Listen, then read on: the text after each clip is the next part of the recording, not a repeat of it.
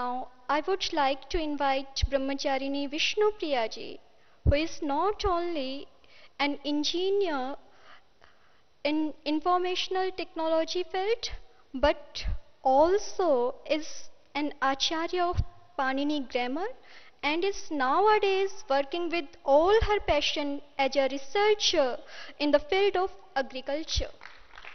ओम जब मैं सोचती हूँ, यहाँ पर आके कोई तैयारी करके कहूँगी तो मुझे लगता है स्वामी जी ने हमें इतना तैयार कर दिया है और इतना कुछ है बोलने के लिए, तैयारी करूँगी तो शायद कुछ छूट जाएगा, बिना तैयारी के ही बोलती हूँ।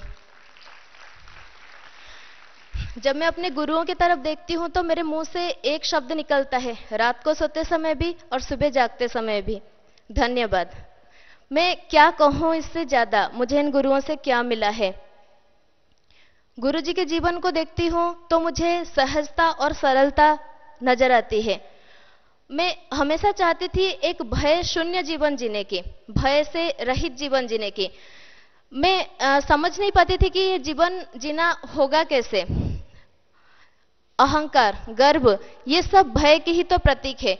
आज युवा पीढ़ी हमेशा चाहती है कि डेयरिंग बने डेयरिंग बने डेयरिंग बने पर उसके लिए सबसे मूल में क्या चाहिए? फियर को छोड़े फियर को छोड़े। और उससे भी मूल में जाए तो क्या चाहिए? एक बार हम सोच के देखते हैं, हमारे को अहंकार होता है, हमारे मन में कभी घमंड आता है, हमने कुछ कर लिया, हम दूसरे से अपने को ऊँचा समझते क्यों समझते हैं? हमारे मन में डर होता है कि हम अगर नीचा सोच ले तो हमारे मान सम्मान का क्या होगा?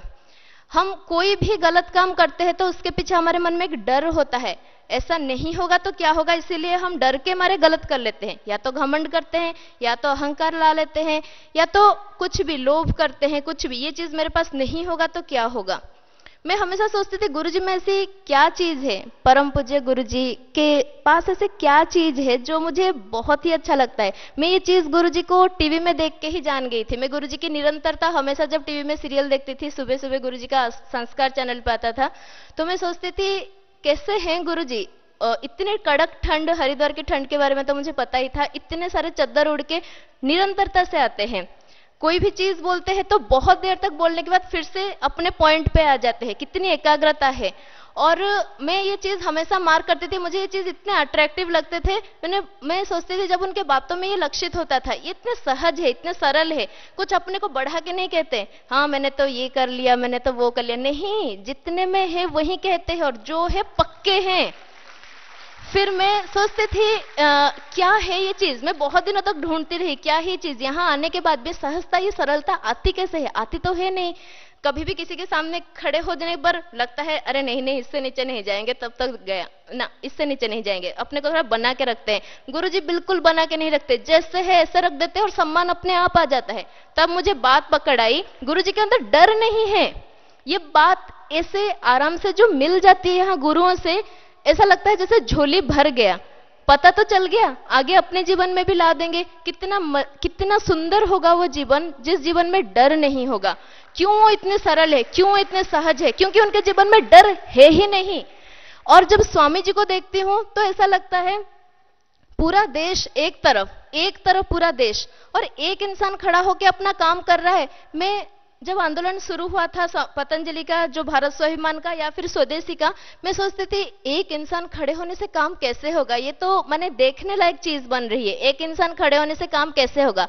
लगे रहो लगे रहो लगे रहो। मैं स्वामी जी के जीवन में हमेशा देखती हूँ बड़े बड़े स्तर पे छोटे छोटे स्तर पे मैं कहूँ, जैसे हम लोग यहाँ पे रहते हैं तो हमारे में से एक में भी, एक भी चीज़ की कमी हो जाती है तो स्वामी जी हाथ नहीं छोड़ते। माता पिता की तरह हाथ पकड़ के चलो, उठो, आगे चलो, बढ़ते रहो बढ़ते रहो, यहाँ कम हो गया, इसको उठाओ, ये बढ़िया है, इसको चलाते रहो। मैं सोचती हूँ, कितने सहस्र हाथ है इनके, जो मतलब इतने ब्रह्मचर्यों को पाल के, इतने देश को पाल के मैं सोचती हूँ, बस लगे रहो। स्वामी जी के जीवन से मेरे को निरंतरता निरंतरता और निरंतरता ही दिखाई देती है। जैसे अभी आचार्य महामंडलेश्वर अभी यहाँ पर बैठ के जो भी कह रहे थे, मैं सोच रही थी, मैं सोच रही हूँ और आचार्य श्री बोल रहे हैं, मैं सोच रही हूँ और ये बोल रहे हैं, मेरे ही शब्द आ रहे थे। तो मुझे बहुत ही खुशी हो रही थी। कितने मुक्त कंठ से उन्होंने आह्वान किया। बहुत बहुत धन्यवाद। इसलिए मैं कहती हूँ, मैं गुरुओं के पास कुछ कहने के लिए आती हूँ तो मेरे पास शब्द नहीं होते, एक ही शब्द होता है, धन्यवाद। क्यों ना हम एक बार सोच के देखें कि एक जीवन भय शून्य होके इस देश में काम के लिए लगा दे, सब मिलके एक बार ज़ोर से भारत को बना दे, बढ़िया तरीके से भारत को बना दे। फिर अगले जीवन में जब इसी देश में आएँगे ना, भगवान के साथ डील करके रखेंगे इसी देश में फिर से पैदा होंगे और इसी देश में एक सुंदर सुबह देखेंगे, जहाँ पे सब पवित्रता से रहेंगे। हम सब वेद की ध्वनि गा रहे होंगे और हम सब एक सुंदर जीवन जी रहे होंगे। मैंने तो सोच रखा है, ये जीवन पूरी, पूरा बल लगाना तो स्वामी जी, आचार्य जी, इन्हीं लोगों से ही मैंने सीखा है। पूरा जीवन इस देश को बनाने में लगा दूँगी और मेरे जैसे जितने भाई बहन इनको देख के मेरे को इतना बढ़िया विटामिन मिलता है। Vitamin A B C D तो सुना होगा, एक विटामिन जी है, वो विटामिन जी है गुरुकुल मेरे लिए। वो है मेरी दीदी, आचार्य और गुरु जी स्वामी जी ये लोग आचार्य जी जो हमारे बड़े आचार्य जी बालकृष्ण आचार्य जी हैं, इन लोगों को देख के मुझे लगता है ये मेरे लिए विटामिन जी है। मैं कहीं बाहर रहती हूँ तो मैं कभी कभार दीदी को कहती हूँ, मेरे से कांटेक्ट रखे रहे ना, मेरे को विटामिन जी की कमी ना हो जाए। तो मैं चाहती हूँ कि जो भाई बहन देश में बिखरे पड़े हैं इस जन्म में तो लग के, सब मिलके एक बार भारत को नई सुबह के लिए खड़ा कर देते हैं। फिर अगले जीवन आएँगे ना, बढ़िया से जिएँगे इस भारत में। चारों तरफ़ सुंदरता, पवित्रता पीस बहुत अच्छे से। यहाँ पर जैसे मैं गुरुओं के जीवन को देखूँ, उच्च स्तर में तो क्यों है इनके जीवन में शांति? क्यों इतने शांति फैला पाते हैं? यहाँ पे जितने आचार्य आ चुके हैं, यहाँ पे जो आचार्य हैं, जो स्वामी जी हैं, जो भी हैं, क्यों? मेरे को हर चीज़ में खोज करती रहती हूँ तो कभी कभार कोई कोई चीज़ हाथ लग जाती है। बहुत बार कानों में पड़ा हुआ है, लेकिन अपने से जब मिलता है तो और अच्छा लगता है। एक बात दिमाग में आई कि end of desires evening of desires makes you sure about the morning of peace अगर आपके जितने इच्छाएँ हैं वो कंट्रोल हो जाए, आप जय करना चाहते हो ना, जय करके दिखाओ। अपनी सारी इच्छाओं को जय करके दिखाओ। अब आप बोलेंगे कि इच्छाओं को जय कर देंगे तो फिर करेंगे क्या? बेसिक नेचर है, बिना किए रह नहीं सकते। तब हम जो करेंगे ना, वो केवल दूसरों के लिए ही करेंगे। छोड़ ही नहीं सकते हम, ये बेसिक नेचर है हमारा।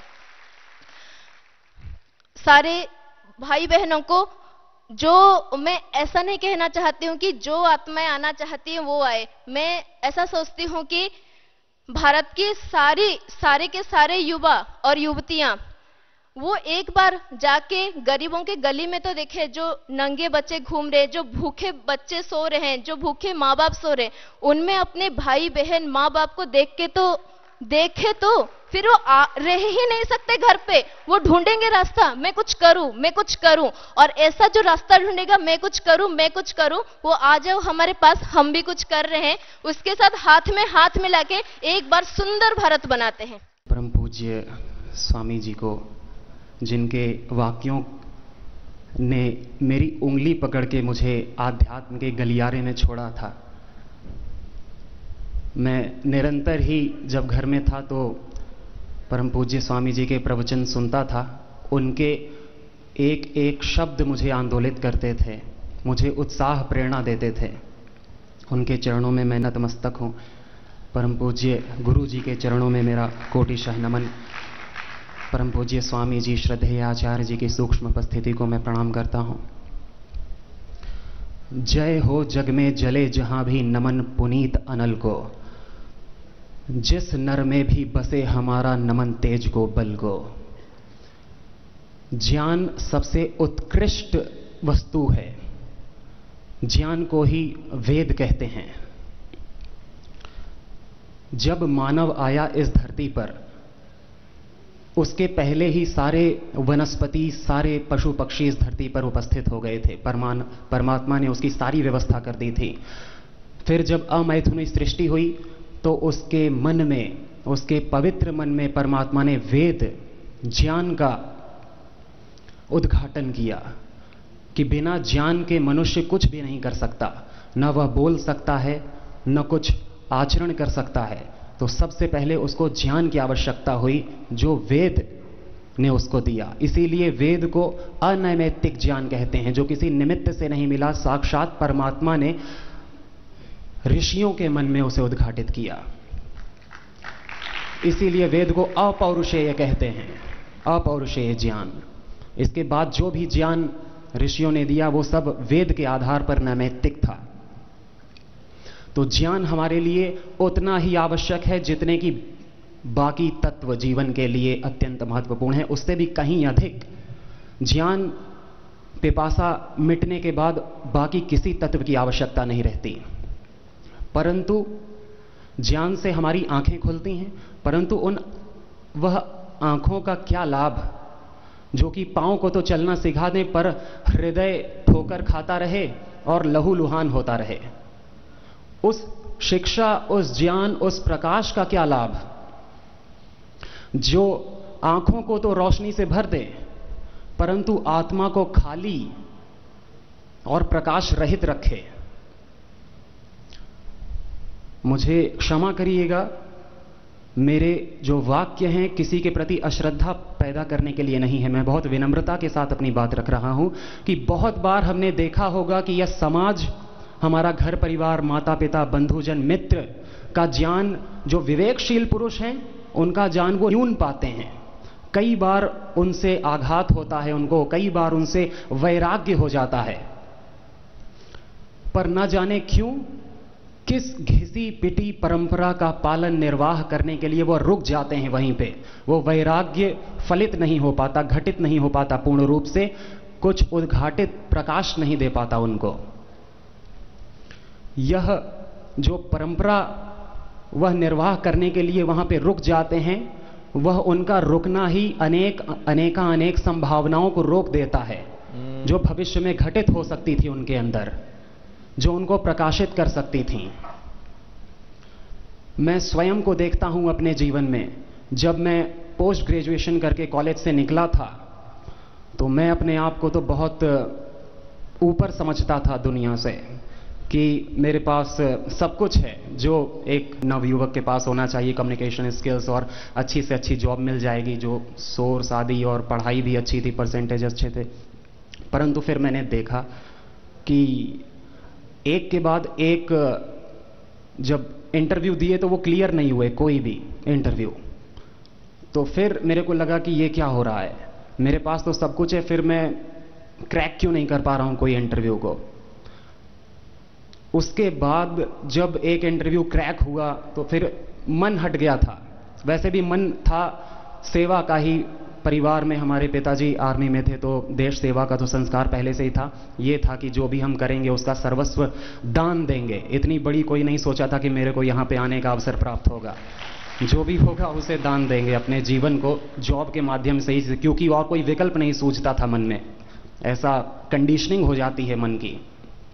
तो फिर एक जॉब लगी तो फिर उसमें कुछ दिन पहले ही कह दिया कि आपको बॉन्ड भरना पड़ेगा, दो साल का। तो फिर पूरा इनकार कर दिया कि बॉन्ड तो नहीं भरेंगे। फिर कहे कि आपको नौकरी कौन देगा? ये इधर नौकरी की तो ऐसे ही कमी पड़ रही है। मैंने कहा, जो होगा देखा जाएगा। फिर घर आ गए। घर में पिताजी ने कहा आर्मी की तैयारी करो। आर्मी तो मुझे अच्छी लगती थी। आर्मी में जब हम इंटरव्यू देने गए एसएसबी का तो पहले ही दिन स्क्रीन आउट जब घर आए तो बहुत बुरा लगा। भाई ने कहा कि चलो कोई बात नहीं, तुम्हारे पास और बहुत से चांस हैं। स्क्रीन आउट वो लोग होते हैं, पहले ही दिन कोई गुण उनको नहीं लगता अफसर बनने लायक उनको निकाल दिया जाता है, ऐसा भाई ने कहा। तो मैंने कहा, तुम मुझे कॉन्सुलेट कर रहे हो या चिढ़ा रहे हो? तो उसने कहा, जो तुम समझ लो, यही सत्य है। सांत्वना भी यही है, सत्य भी यही है। तो उस दिन मुझे वैराग्य सा हो गया दुनिया की सभी जॉबों से। क्योंकि ना तो मुझे उनकी जॉब की ज़रूरत मालूम पड़ती थी, वो बस मैं ऐसे ही दे रहा था बेमन का कि कुछ ना कुछ तो करना ही है। और ना तो उन जॉब को मेरी ज़रूरत थी कुछ। बाद में, लेकिन उसी समय मैं धन्यवाद करता हूँ इस संसार की इस परंपरा का, जिसने मुझे अवसर दिया सोचने के लिए, खुद को जानने के लिए, और उन सब गलतियों से कुछ सीखने के लिए। उसने मुझे पल पल मज़बूत किया कि तुम अगर कुछ हो तो अपने आप को प्रूव करो। अगर तुम कुछ हो तो सिद्ध करो अपने आप को। तो वो सेफ़ साइड से मुझे निकाला और मुझे लगा कि अब मुझे कुछ करना चाहिए। कोई अलग रास्ता आउट ऑफ़ बॉक्स सोचना चाहिए मुझे। परमात्मा जब सारे रास्ते बंद कर देता है तो कोई ना कोई रास्ता खोल देता है। ये मुझे खुद पर भी विश्वास था, परमात्मा की व्यवस्था पे भी पूर्ण विश्वास था कि कोई ना कोई रास्ता जो मेरे लिए अनुकूल है, जो मेरे लिए सर्वहितकारी है, वो ज़रूर खुलने वाला है। और एक दिन परम पूज्य स्वामी जी का आह्वान हुआ कि जो भी नवयुवक देश की निस्वार्थ भाव से, निष्काम भाव से सेवा करना चाहते हैं, अपने पूर्ण जीवन की आहुति देना चाहते हैं, कोई कैरियर, कोई कुछ नहीं, वो आए यहाँ पे, उनका स्वागत है, उनका योगक्षेम मैं वहमन करूँगा और उनको कोई चीज़ सोचने की ज़रूरत नहीं है, वो बस ऋषि बने, जैसा मैं चाहता था। यहाँ तो उससे बहुत ज़्यादा हमको मिल रहा है। तो मैं युवाओं से ये कहना चाहूँगा कि अगर जो विचारशील युवा हैं, जिनको संसार में कोई अब वैराग्य सा हो गया है, कोई रुचि नहीं दिख रही है, उनको सारे मार्ग बंद से लग रहे हैं कि अब क्या करें, ये करें या ये करें, ना इसमें रस है, ना इसमें रुचि है। तो वो धैर्य रखें, सारे रास्ते बंद हैं तो परमात्मा एक अनुकूल रास्ता, जो हमारे लिए वो जानता है सबसे ज़्यादा कि क्या अनुकूल है, वो उद्घाटित करेगा। और वो रास्ता उद्घाटित हो रहा है अब। आपके सामने, जो हम परम पूज्य महामंडलेश्वर स्वामी जी को मैंने कहते हुए उनके प्रवचन में सुना कि वह जो एक अवसर है, वह प्रवचन के मध्य में होता है। तो ये जो प्रवचन यहाँ से ब्रह्मचारी और ब्रह्मचारिणियाँ और गुरुजन दे रहे हैं, वह मार्ग अब खुला है आपके सामने, और वह मार्ग खुल चुका है। इसका प्रमाण है कि आप भी इसी समय हमको सुन रहे हैं, और यह भी प्रमाण है कि आपकी दृढ़ इच्छा है आत्मविजेता बनने की, तड़प है आप में। तो सारे संयोग है, बस अब कदम उठाना है आपको। इस अनुकूल अवसर का लाभ उठाएँ, अवसर बार बार नहीं आते जीवन में। आप कहेंगे, अवसर तो रोज देते हैं स्वामी जी, हर साल आता है अवसर, परंतु ये मन अवसर हमको बार बार नहीं देता। इतनी चंचलताएँ हैं इस जीवन में, इतनी वासनाएँ, संस्कार हम लिए टहल रहे हैं, और इतने आलंबन हमारे सामने आते हैं कि फिर मन स्थिर नहीं रहने वाला। जो स्थिति एक बार बन गई, उसका सम्मान करिए और चल पड़िए इस रास्ते पर। आज भारत को ज़रूरत है ऐसे युवक युवतियों की जिनका शरीर फौलाद का बना हो, जिनकी नसें लोहे की बनी हो, स्नायु इस्पात का बना हो, ऐसा कहते थे स्वामी विवेकानंद जी। और आज भी भारत को उससे ज़्यादा ज़रूरत है। आज भारत करवट लेने की ऑन द वर्ज उसी चोटी पर खड़ा हुआ है। कि वहाँ से वह उठ सकता है। आज आपकी भारत को ज़रूरत है। तो कमज़ोर मन और शक्तिहीन शरीर से कुछ नहीं होगा। आपको अपने शरीर को बलवान बनाना पड़ेगा, अपनी मेधा को तीव्र करना पड़ेगा। वीर बनना पड़ेगा। वीर भोग गया वसुंधरा। तभी आप देश के काम आ पाएँगे और तभी आप अपने जीवन को सार्थक बना पाएँगे और तभी आपको अपने जीवन पे गर्व होगा।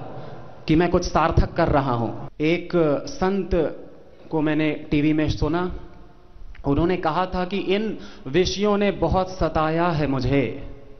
अब समय आ गया है कि मैं भी इन विषयों को तड़पाऊं। इन विषयों ने बहुत तड़पाया है मुझे। अब समय आ गया है कि मैं भी इन विषयों को तड़पाऊं। तो अब समय आ गया है जिन विषयों ने आपको तड़पाया है, उनको आप तड़पाएँ। और वो सारे विषय आपके सामने करबद्ध होकर खड़े हो जाएँगे कि मेरा प्रयोग करो, मेरा प्रयोग करो सर्वहित के लिए।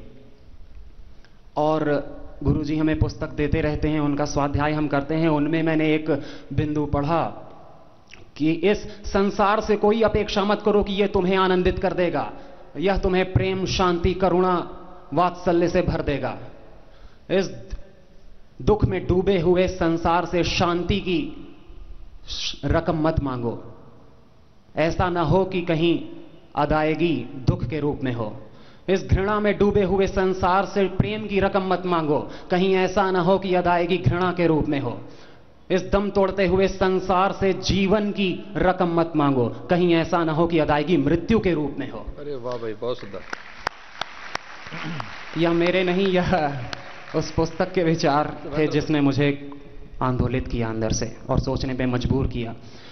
अगर ये सब मांगना ही है तो इस ईश्वरीय अहम से मांगो अपने गुरुदेव से मांगो अपनी अंतरात्मा से मांगो। और जब मिल जाए तो लुटा दो उसको संसार को जिसने यह सब तुम्हें कभी कहीं दिए थे।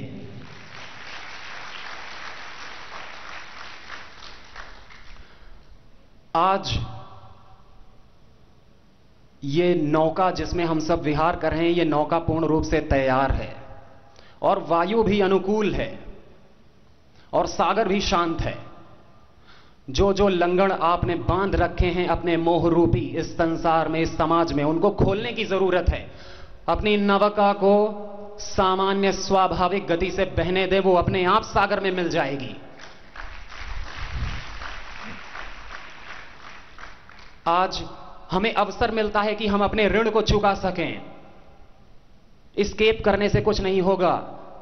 यह भी मैंने पूज्य स्वामी जी से सुना कि सबसे बड़ा रोग क्या कहेंगे लोग?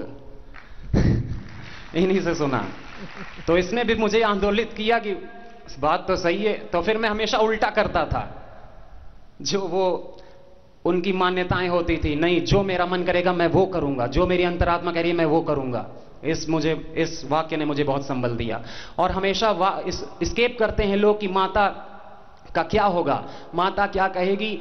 ये पिता क्या कहेंगे? गाँव वाले का कहीं कहें सब क्या कहेंगे? हैं? तो हमको भी ये सब सोचे थे, परंतु इसने बड़ा आलंबन दिया इस वाक्य ने। क्योंकि माता का ऋण है, वेद की आज्ञा है, मातृदेवो भव, पितृदेवो भव। माता के लिए आज्ञा है कि माता तेरा पुत्र तुझे देव बनाने वाला हो। पितृ, तू देव बन, तेरा पुत्र तुझे देव बनाने वाला हो। आचार्य देवो भवा, अतिथि देवो भवा। तो हमारे पास यह अवसर है कि हम खुद देव ऋषि बन के अपनी माता को यह गौरव दें कि वो देव की माता है। हमारा पिता, हमारे आचार्य देव के पिता आचार्य हैं। तो इन स्केपों से कुछ नहीं होगा कि मेरा क्या, मेरे बाद मेरे परिवार का क्या होगा। सबका मालिक एक है वो सबकी उनके कर्मानुसार सबकी व्यवस्था कर रहा है। हमें हिम्मत और हौसला दिखाने की ज़रूरत है। आत्मार्थम पृथ्वीम त्यजेत। आत्मा के लिए यह पृथ्वी त्यागने योग है। आत्मा के लिए स्वर्ग त्यागने योग है। वैकुंठ तक त्यागने योग है। तुम्हारा क्षुद्र घर तो क्या? अरे वाह। आज भारत से ज़्यादा तुमको स्वयं की ज़रूरत है। स्वयं के मन में स्वयं के प्रति सम्मान पाने की ज़रूरत है।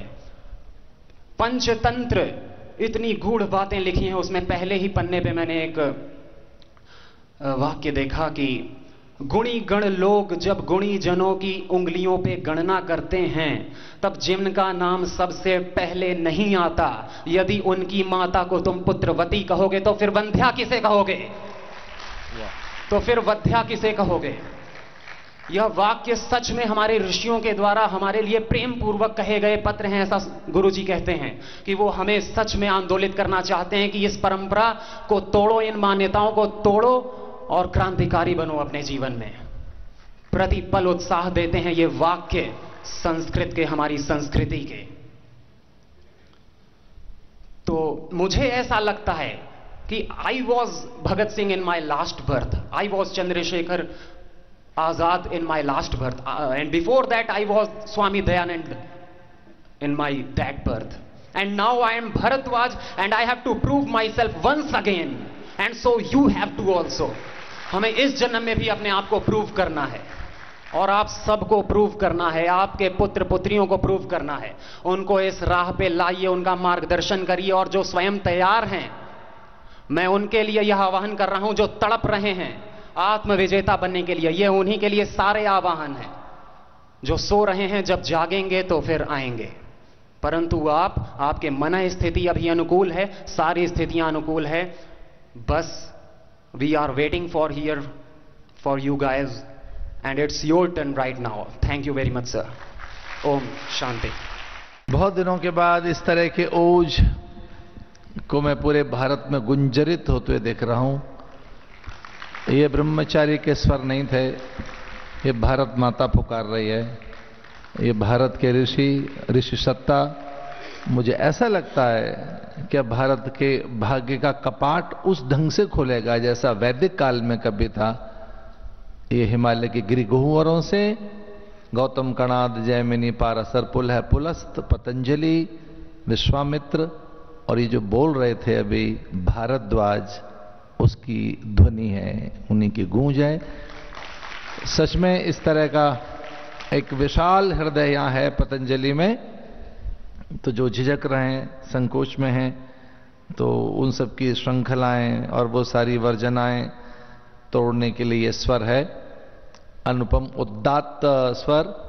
और मुझे ऐसा लग रहा है कि अब वो जो कुछ होने वाला है, वो कुछ अद्भुत होगा। इस पतंजलि के द्वारा।